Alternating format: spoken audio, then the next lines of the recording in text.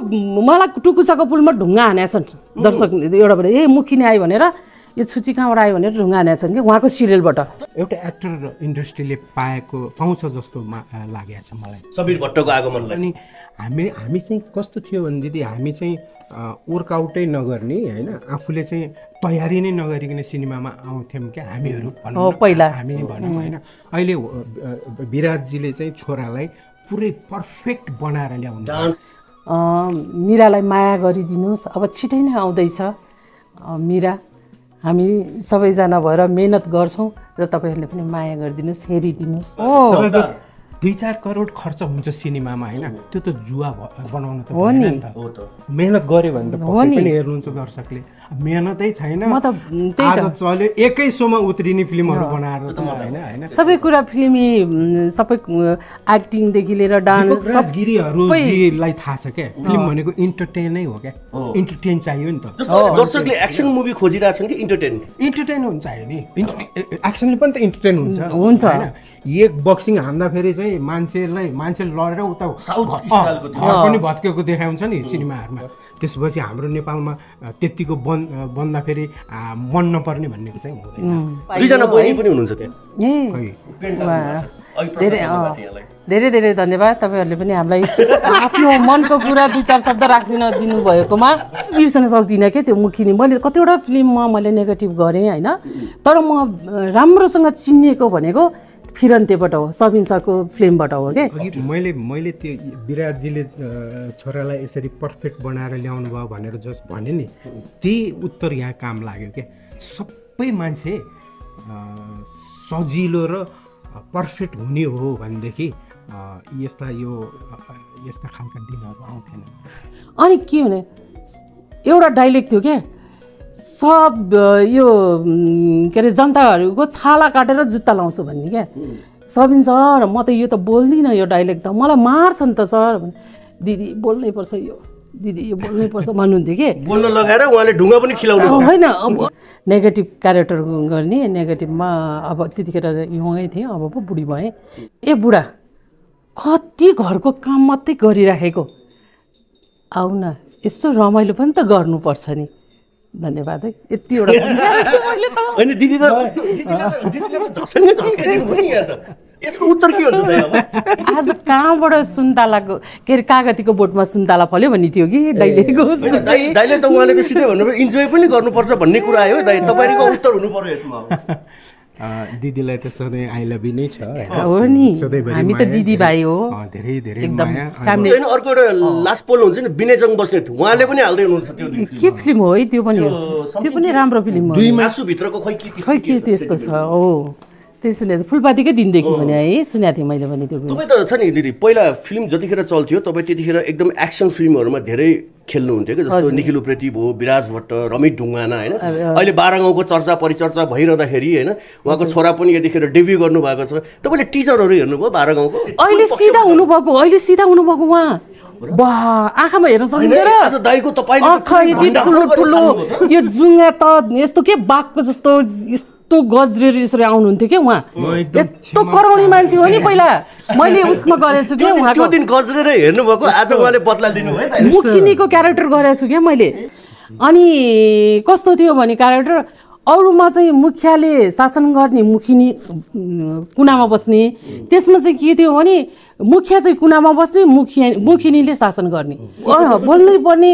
कस्तो नि त्यो मुखिनीले शासन आफ्नै श्रीमानलाई पनि यस्तो शासनमा राख्यो कि अब के भन्यो? ए मुखिनी के मुखियालाई पनि कस्तो भन्यो? भनेको थिएँ कि मुखिनीको मलाई मुखिया भने त हुन्थ्यो नि। ए मुखिनीको पोइ भनेर बोलाउँथेँ। भने क्या त्यस्तो क्यारेक्टर के? यति पावरफुल त क्यारेक्टर थियो त्यसमा मेरो। बोलाउनु भएन। छैनौँ है हामी दुवैजना छैनौँ। नबोलाइकन मलाई खेलाउनुहोस् भन्न पनि भएन। नियमित एउटा छ- छमाया छपकै गरेँ त्यसपछि योभन्दा अगाडिको छको पन्जा चारमा गरेको थिएँ होइन। अब के होला त त- अहिले तपाईँको विश्लेषण चाहिँ दसैँको माहौल चाहिँ कस्तो बन्दा? सिनेमा सबै चल्छन् जस्तो लाग्छ बाबु अँ, दसैँको के? किनभने अब हाम्रा छोरा नाति पनातिहरू सब विदेश छन् पैसा पठाइदिइरहेछन् हामीलाई। होइन? नेपालमा त उयो बुढाबुढी मात्रै त हो नि ल जाओ सिनेमा हेर भनेर भन्छन् नयाँ पनि आउनुपर्छ।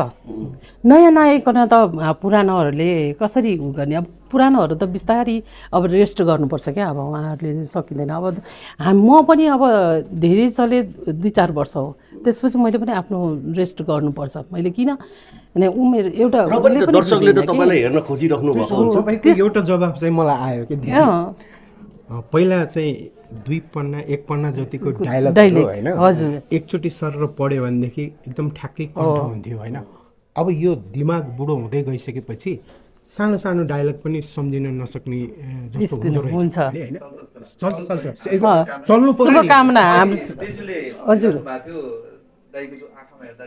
हो त्यो म भन्दा भन्दै अँ। कट भएर उता गयो कि यस्तो गाली गर्ने कि? दाइ भन्नु न दिदीले भन्नु फेरि म दिदीलाई जोड्नुला यस्तो यसरी आँखा हेरिदिएपछि र यस्तो त्यो जुङ्गाहरू यसरी ठाडो भएर आएपछि डर लाग्थ्यो क्या के गरे कि दिदी तिमीले यो?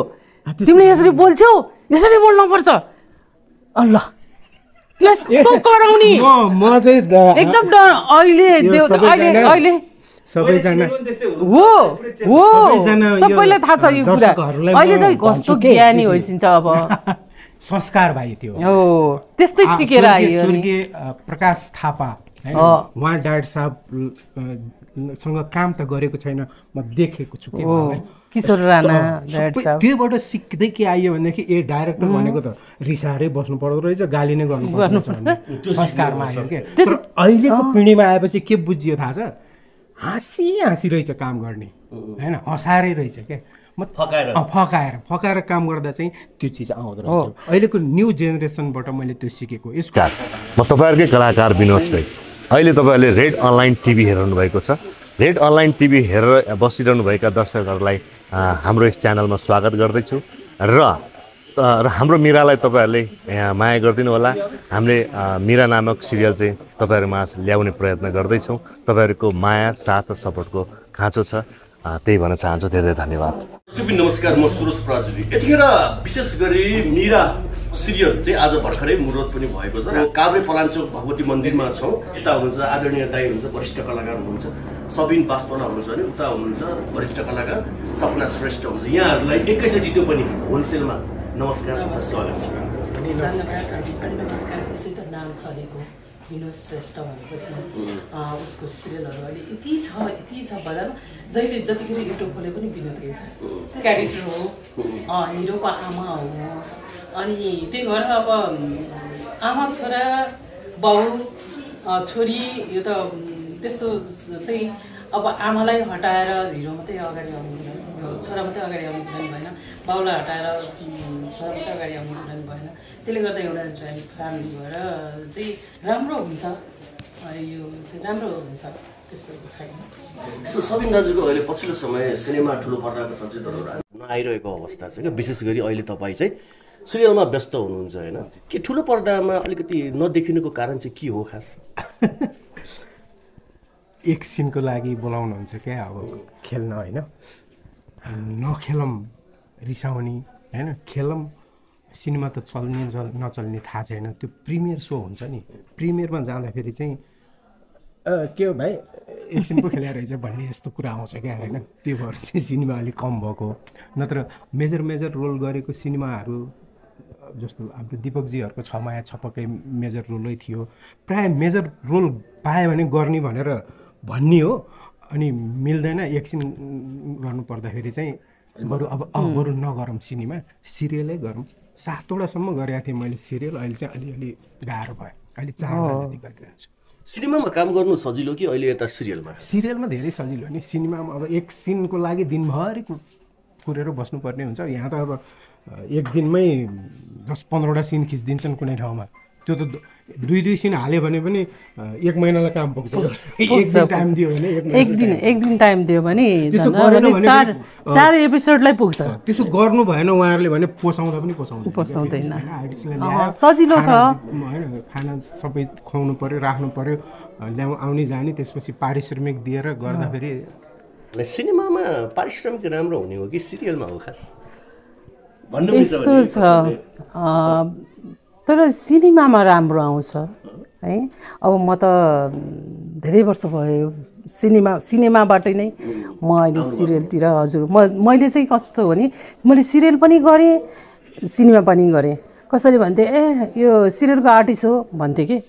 त्यसो भन्थेँ। अनि फेरि सिनेमा पनि त्यत्तिकै मैले दिनको तिनवटा सिनेमासम्म गरेको छु क्या त्यो बेलामा। नेगेटिभ क्यारेक्टर गर्ने नेगेटिभमा अब त्यतिखेर युङै थिएँ अब पो बुढी भएँ। अनि मेरो अहिले पनि भर्खरकै हुनुहुन्छ नि। कसले भन्नुहुन्छ कसले कसले भन्ने? खबरदार है हाम्रो दिदीलाई कसैले पनि बुढी नभन्नु होला। बुढी त्यो बेलाको हेरी त अब त बुढी बुढाको नै भयो। अनि त्यतिखेर यङ नेगेटिभ गर्ने त्यति थिएन नि हाम्रो यसमा। अनि मै पढ्थेँ मैले मेरो त्यही भएर म चाहिँ त्यतिखेर अलिक व्यस्त नै हुन्थेँ। अनि अहिले आएर चाहिँ सिरियलहरू गरिरहेको छु युट्युबको पनि राम्रो छ। एकदम राम्रो छ। जे हामी खुसी छौँ। खुसी हुनुहुन्छ। हजुर। अहिले पछिल्लो समय चाहिँ नि नयाँ मान्छेहरू आइरहेका छन् क्या धेरै आगमन भइरहेछ यो क्षेत्रमा होइन? यो अर्थले हेर्दै गर्दाखेरि पुराना कलाकारहरू चाहिँ जो वरिष्ठ थिए धेरै मान्छेहरूले चाहिँ धेरै फिल्म गरेका होइन? तर अहिले अलिकति उहाँहरू नदेखिनुको कारण चाहिँ के यसमा केही समस्या भएर हो कि के हो दाइका कसरी थाहा हुन्छ र यो? अर्काको कुरा। यस्तो हुन्छ। नयाँ पनि आउनुपर्छ। नयाँ नआइकन त पुरानोहरूले कसरी उ गर्ने? अब पुरानोहरू त बिस्तारै अब रेस्ट गर्नुपर्छ क्या। अब उहाँहरूले सकिँदैन। अब हाम म पनि अब धेरै चले दुई चार वर्ष हो। त्यसपछि मैले पनि आफ्नो रेस्ट गर्नुपर्छ। मैले किन? भने उमेर एउटा दर्शकले त। तपाईँलाई हेर्न खोजिराख्नु भएको हुन्छ। एउटा जवाब चाहिँ मलाई आयो कि पहिला चाहिँ दुई पन्ना एक पन्ना जतिको डायलग होइन? हजुर। एकचोटि सर पढ्यो भनेदेखि एकदम ठ्याक्कै कन्ठ हुन्थ्यो होइन? अब यो दिमाग बुढो हुँदै गइसकेपछि सानो सानो डायलग पनि सम्झिन नसक्ने जस्तो स्थिति हुँदो रहेछ हुन्छ। होइन? अब युट्युबको फिल्म बनाउन जाँदा त एकबाट दुई टेक लाउँदै गएपछि त दिन गयो त्यहाँ होइन? घाटा हुने भयो। त्यसले गर्दा पुरानोहरूलाई मान्छेहरूले लिन नखोजेको हो कि? जस्तो मैले मलाई अहिले तर डायलग दर्शकले त हेर्न चाहेका छन्। दर्शक त्यो पनि छ। अर्को कुरा के भने अब उहाँहरू सिनेमा गरेको मान्छेले अब युट्युबमा गर्नु नला भन्ने पनि सोच हुँदो रहेछ के? अब उहाँहरू त्यत्रो त्यत्रो पर्दामा सिक्सटिनमा काम गरेर अहिले यसरी आउनुभएको छ भन्ने लाग्दो रहेछ होइन? त्यस्तो होइन। काम भनेको सानो ठुलो हुँदैन होइन? हामी कलाकार हो त्यसमा पनि एक्टिङै गर्ने हो यसमा पनि हामीले एक्टिङै गर्ने हो। क्यामेरा उयो हो होइन? एउटा मेहनतमा म चाहिँ अलिकति त्यसमा भन्दा यसमा सजिलो छ। सिक्सटिनमा धेरै गाह्रो थियो। होइन त्यो बेलामा त रिल सिस्टम ज- जतिखेर क्यान सिस्टम थियो नि त्यो बेलामा कलाकारहरूले चाहिँ टेक खाँदै गर्दा नि प्रोड्युसरको मुख पनि त सानो हुन्थ्यो त्यो बेला तर त्यतिखेर टेक खाइँदैन थियो एकदम डर लाग्थ्यो। हो रिहर्सल हुन्थ्यो डर लाग्थ्यो ओहो यसरी टेक खाएपछि क्यान खर्च हुन्छ क्यान खर्च गयो भने उहाँहरूको पैसा नष्ट हुन्छ त्यस्तो गरिदिनु हुँदैन भनेर हामी यति सिरियस भएर हामी लाग्थ्यौँ कि। होइन यस्तो गर्नु हुँदैन। अहिलेका त हा यताउति अब हाँसी मजा गऱ्यो काम गऱ्यो केही काम गरे जस्तै लाग्दैन। हो। त्यस्तो हुन्छ। हामीलाई त डर लाग्थ्यो डाइरेक्टर भनेपछि प्रड्युसर भनेपछि। डाइरेक्टरको मुखमा हामीलाई हेर्न डर लाग्थ्यो कि? प्रड्युसरलाई हेर्ने ओ प्रड्युसर साहब आउनुभयो भन्ने लाग्थ्यो। त्यस्तो हुन्थ्यो। त्यसरी पनि आयौँ क्या हामी। तर अहिलेको कलाकार अहिलेको कलाकारहरू चाहिँ प्रायः न डाइरेक्टर मतलब छ उहाँहरूलाई न प्रोड्युसर मतलब छ न सिनियर कलाकार मतलब छ होइन? बाल छैन मतलब छैन उहाँहरूलाई। अलिकति हुन्छ नि अहिलेको नयाँ कलाकारहरू कतिपय देख्छौँ कि हामीले। आधार हो सद्भाव गर्ने हुन्छ नि पुराना कलाकारहरूलाई। त्यस्तो देखिँदैन अहिले। त्यो छिटै विलिन हुने सङ्केत त्यो यस्तो हो कि अलिकति अनुशासित संस्कार हो। अलिकति संस्कार हाम्रो तर हामीले त अझै पनि हाम्रो दिदीहरूसँग हामीलाई डर लाग्छ। जस्तो हाम्रो सिनियर दिदीहरू दाईहरूसँग हामीले यति रेस्पेक्ट गर्छौँ के? उहाँहरूलाई सिनियर हो हामीले रेस्पेक्ट गर्नुपर्छ। गर्छौँ पनि। तर अहिलेका नयाँहरू पनि कतिपय भाइ बहिनीहरूले बिचरा जानेको छैन। अब हामीले बिस्तारै सिकाउनुपर्छ क्या उहाँहरूलाई? सिकाएर ल यसरी आउनुपर्छ यसरी बोल्नुपर्छ यसरी अनुशासित हुनुपर्छ भनेर अब हामीले सिकाउनुपर्छ। त्यही हो। जस्तो हजुर धेरै पहिलादेखि नै नेगेटिभ क्यारेक्टरमा चाहिँ एकदम भिजेको हुनुहुन्छ होइन। आज कुनै एउटा त्यो बेलाको सम्झना गर्दै गर्दा नि आज एउटा कुनै नेगेटिभ नै नेगेटिभ नेगेटिभिटी जो निस्किने खालको चाहिँ होइन जुन हजुरले गरेको कुनै एउटा सिनेमाबाट चाहिँ एउटा डाइलग बोलिदिनुहोस् न। कतिपय त्यो। डाइलग चाहिँ कतिपय दर्शकलाई ताजा हुन्छ त्यो फिल्मको फलानु ठाउँमा गएर हेरेको थिएँ भन्ने हुन्छ कि। बिर्सिसक्यो होला नि कति फिल्मको त अब धेरै भइसक्यो। कुनै पनि एउटा भयो भने चाहिँ राम्रो हुन्थ्यो कि भन्ने हाम्रो चाहना। हजुरलाई अनुरोध पनि। अब सबिन सर म बन्दगीको गर्छु ल। बन्दगीमा यस्तो हुन्छ कि अब त्यो पनि नेगेटिभै क्यारेक्टर हो चिठी बुहारी। अब जसले गर्दा त्यो बुहारीले गर्दाखेरि अ, देवरले चाहिँ बन्दगी बस्नुपर्ने बाध्यता बनाएको हुन्छ। मुखिनीको छोरी हुन्छ होइन? श्रीमानलाई चाहिँ ए बुढा कति घरको काम मात्रै गरिराखेको? आऊ न यसो रमाइलो पनि त गर्नुपर्छ नि। धन्यवाद है। यतिवटा भनिरहेको छु मैले त। होइन दिदी त दिदीले त- दिदीले त झस्काइ झस्काइदिनु भयो नि यहाँ त। यसको उत्तर के हुन्छ दाइ अब? उत्तर दिनुपर्ने भयो नि त हजुरले अब। आज कहाँबाट सुन्तलाको के अरे कागतीको बोटमा सुन्तला फल्यो भन्ने थियो कि? दैलेको होइन, दाइ दाइले त उहाँले त सिधै भन्नुभयो इन्जोय पनि गर्नुपर्छ भन्ने कुरा आयो दाइ। तपाईँको उत्तर हुनु पर्यो यसमा दिदीलाई त सधैँ आई लभ यु नै छ? हो नि। हामी त दिदी भाइ हो। अ, धेरै धेरै एकदम माया। फ्यामिली रिलेसन पनि छ यत्रो वर्षसम्म एकचोटि पनि त्यस्तो के झगडा केही कहिल्यै नराम्रो भएन हाम्रो। रातो मुख लाएको छैन होइन? तर धेरै काम गरेँ तर डर लाग्थ्यो। उहाँको सिरियल पनि मैले धेरै दाइलाई यसो विचार गर्दै गर्दा नि उहाँको डर लाग्छ भन्दाखेरि कसरी अहिले सिधा हुनुभएको अहिले सिधा हुनुभएको उहाँ। बा आँखामा हेर्न सक्दैन।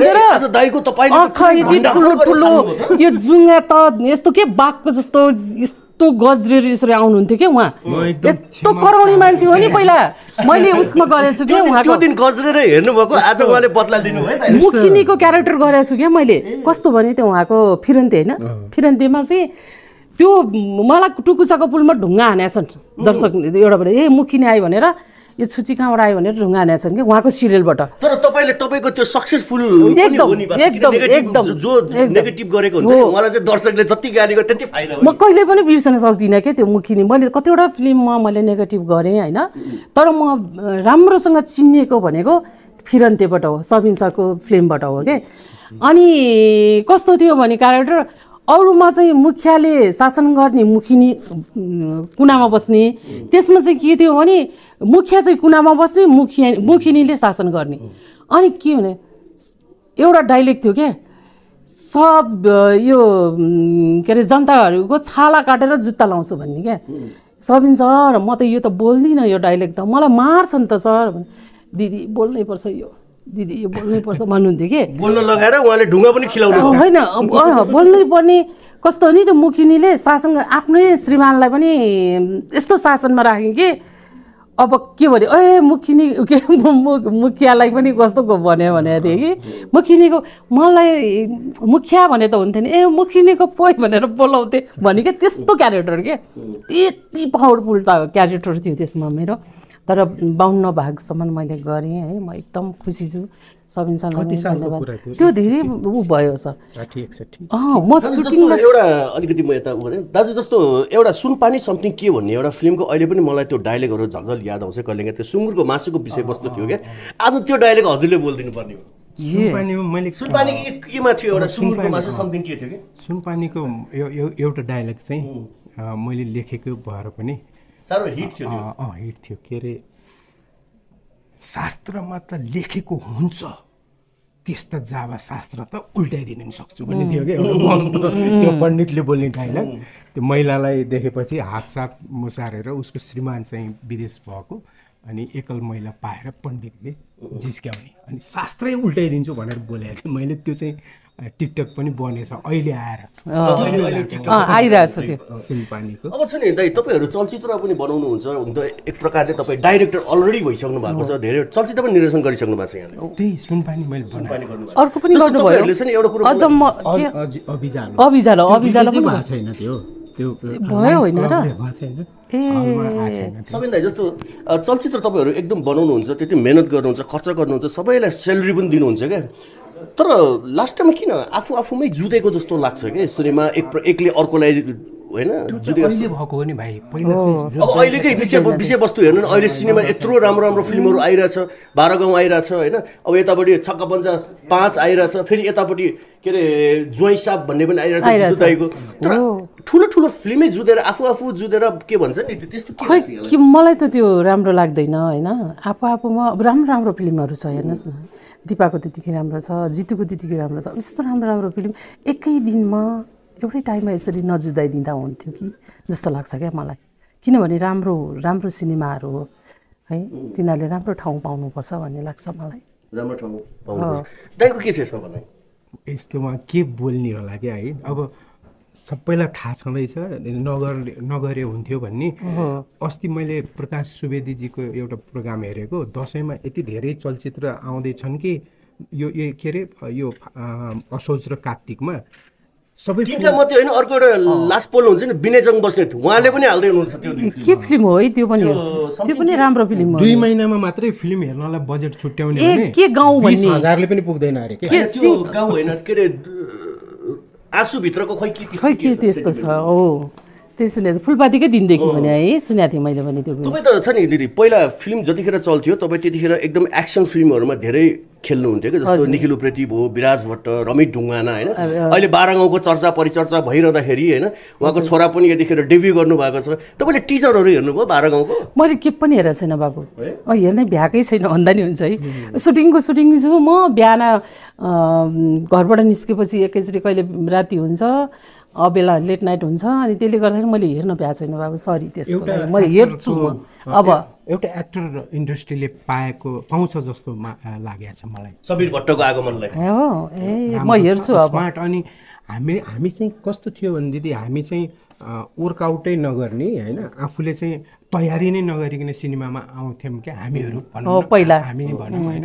अहिले अ, विराटजीले चाहिँ छोरालाई पुरै पर्फेक्ट बनाएर ल्याउनु डान्स त्यस्तै छ हुनु पर्यो क्या?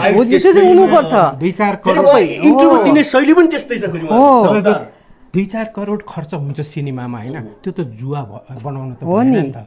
मेहनत गऱ्यो भने त। पनि हेर्नुहुन्छ दर्शकले।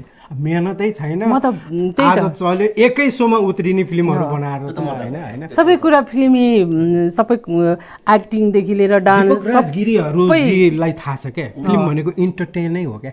इन्टरटेन चाहियो नि त। दर्शकले एक्सन मुभी खोजिरहेछन् कि इन्टरटेन इन्टरटेन हुन्छ चाहियो नि एक्सनले पनि त इन्टरटेन हुन्छ। हुन्छ। होइन? एक बक्सिङ हान्दाखेरि चाहिँ मान्छेलाई मान्छे लडेर उता घर पनि भत्केको देखाउँछ नि सिनेमाहरूमा साउथमा। अब त्यो चाहिँ नेपाली हामीले हेरिरहेछौँ त। त्यसपछि हाम्रो नेपालमा अ, त्यत्तिको बन् अ, बन्दाखेरि आ, मन नपर्ने भन्ने चाहिँ हुँदैन। जस्तो दिदीलाई कहिले काहीँ छ नि सिनेमाहरूमा बोल्नुहुन्छ नि डाइलेक्ट कस्तो छुच्ची बुढी टाइपको क्या तपाईँले कसैलाई गाली गरेको। त्यस्तो चाहिँ रियल लाइफमा कहिले काहीँ कसैले गाली गर्नु भएको छ कि छैन? गाली गर्नुहुन्छ नि। अहिले चिया पस खाजा खाने बेलामा चाहिँ, मलाई सबैले भन्छ कि तपाईँ फिल्ममा चाहिँ त्यस्तो छुची भएर खेल्नुहुन्छ? बाहिर त तपाईँ कस्तो ज्ञानी हुनुहुँदो रहेछ भन्छ। मेरो मम्मीले भनिदिन्छ कि मेरो मम्मीको हामी पाँचवटा छोरी। मेरो छोरी यो छोरी जस्तो ज्ञानी त कोही पनि छैन। अहिले यसलाई रिसै उठ्दैन भनिदिन्थ्यो कि। मलाई त्यस्तो रिसै उठ्दैन। म कसैलाई गाली नै गर्दिनँ। त्यस्तो कि? तर म कसरी कसरी है नेगेटिभ अब क्यारेक्टर डाइट सफहरूले मलाई सूची बनाउनु भयो। त्यही नै उहाँहरूले नै तपाईँहरू कलाकार कुनै बेलामा त्यतिखेर तपाईँहरूको आगमन भयो यो क्षेत्रमा। जतिखेर चाहिँ दर्शकले एकदम कलाकार भनेपछि चाहिँ एकदम के त्यो हुन्छ नि त्यो लेभल भगवानै सर मान्नुहुन्थ्यो कि त्यो बेलामा। जतिखेर तपाईँहरूको आगमन भयो। त्यो बेलाको कलाकार तपाईँले भनौँ न त्यो बेलादेखि खाइ नखाइ गरेर यति मेहनत गर्नुभयो यो यो क्षेत्रलाई यति दमदार बनाउनु भयो होइन? तर अहिले केही कलाकार नाम कसैको भन्न चाहन् केही कलाकारहरूको चाहिँ त्यो के के के के कहिले कलाकारको नामबाट चाहिँ विदेश पठाइदिने अरे कहिले के अरे यस्तो कुराहरूले गर्दा अरू कलाकारहरूलाई चाहिँ कतिको इफेक्ट पर्छ दाइ अहिले? इफेक्ट त परिरहेछ है? अरूले पऱ्यो नि त। पुरै कलाकारिता क्षेत्रमै पऱ्यो नि त्यसले त। अघि मैले मैले त्यो विराटजीले छोरालाई यसरी पर्फेक्ट बनाएर ल्याउनु भयो भनेर जस भने नि त्यही उत्तर यहाँ काम लाग्यो क्या सबै मान्छे सजिलो र पर्फेक्ट हुने हो भनेदेखि यस्ता यो यस्ता खालका दिनहरू आउँथेनन्। भएन वर्कआउटै भएन क्या त्यत्तिकै मजाकमा भयो। आज एउटा सि एक सिन खेले एकजना भाइ अथवा बहिनीले भोलि उहाँ डाइरेक्टर बुझ्नुहोस् न बुझेर आउनुहोस् त्यही भने हो। बुझेर पढेर अ, फिल्म कसरी कसरी गर्ने भनेर बुझेर आउनु भयो भने हामीले सिनेमा लेखेर खेलेर बना बनाएको चिज मन पर्नु पर्यो मान्छेलाई। हो। मन छुनु पर्यो। तब नै हेरिन्छ होइन? त्यही हो। हुन्छ अब जाँदा जाँदै अब लगभग लगभग पनि बोलाउनु भएन। छैनौँ है हामी नबोलाइकन- दुवैजना छैनौँ। नबोलाइकन मलाई खेलाउनुहोस् भन्न पनि भएन। नियमित एउटा छ छमाया छपकै गरेँ। त्यसपछि योभन्दा अगाडिको छको पन्जा चारमा गरेको थिएँ होइन? अब के होला त तपाईँको विश्लेषण चाहिँ दसैँको माहौल चाहिँ कस्तो बन्ला सिनेमा सबै चल्छन् जस्तो लाग्छ बाबु मलाई। दसैँको के? किनभने अब हाम्रा छोरा नाति पनातिहरू सब विदेश छन् पैसा पठाइदिइरहेछन् हामीलाई होइन? नेपालमा त उयो बुढाबुढी मात्रै त हो नि। ल जाओ सि- सिनेमा हेर भनेर भन्छन् छोरा नातिले होइन? चल्छ चल्छ। चल्नु हजुर। हो त्यो म भन्दा भन्दै अँ। कट उयो गयो कि? यस्तो गाली गर्ने कि? यस्तो यसरी आँखा हेरिदिएपछि र यस्तो त्यो जुङ्गाहरू यसरी ठाडो भएर आएपछि डर लाग्थ्यो कि? के गरे कि दिदी तिमीले यो? तिमीले यसरी बोल्छौ? यसरी बोल्नुपर्छ अल्ल।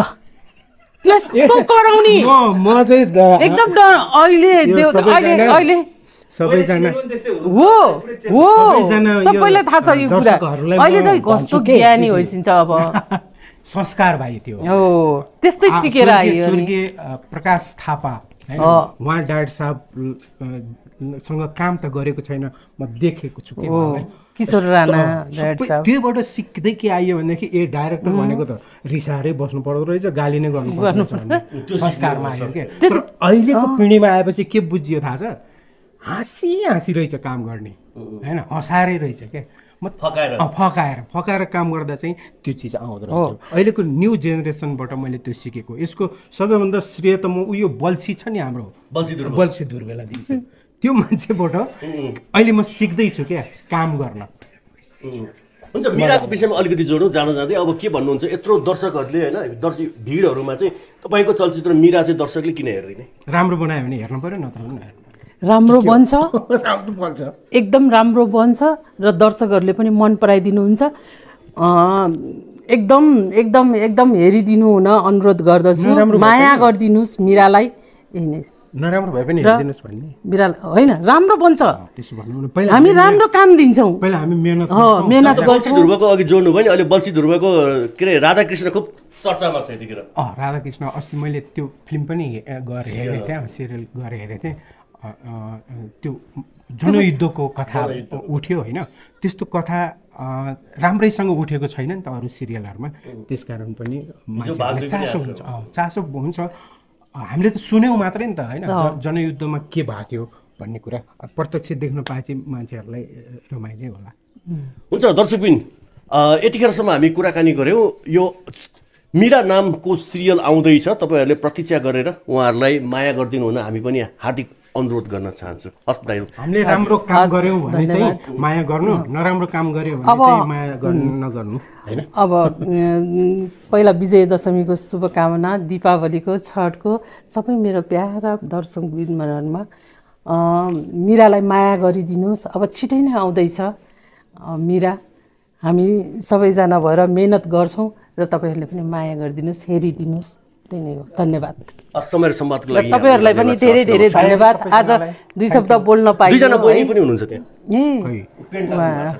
अघि प्रशंसा धेरै। धेरै धेरै धन्यवाद। तपाईँहरूले पनि हामीलाई आफ्नो मनको कुरा दुई चार शब्द राखिदिन दिनुभएकोमा धेरै धेरै धन्यवाद। सबैजना भाइहरूलाई धन्यवाद।